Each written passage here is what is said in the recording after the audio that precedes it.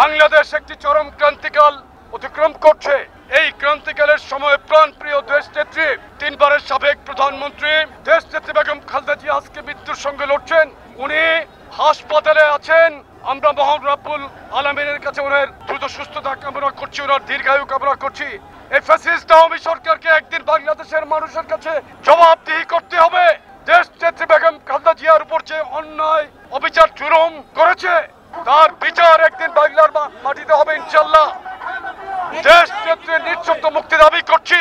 বাংলাদেশের যুব সমাজকে ঐক্যবদ্ধ করার জন্য যুবদলকে যে দায়িত্ব দেওয়া হয়েছে, যুবদল এ দায়িত্ব পালন করার ক্ষেত্রে বদ্ধপরিকর।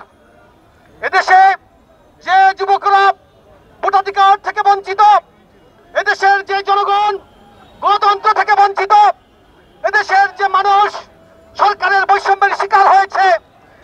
আমাদেরকে এই ফেসিবাদ থেকে মুক্ত করার জন্য যুবদলের দায় রয়েছে বন্ধুরা আমার। নতুন কমিটিতে যারা এসেছেন, তাদেরকে শুভেচ্ছা জানাচ্ছি।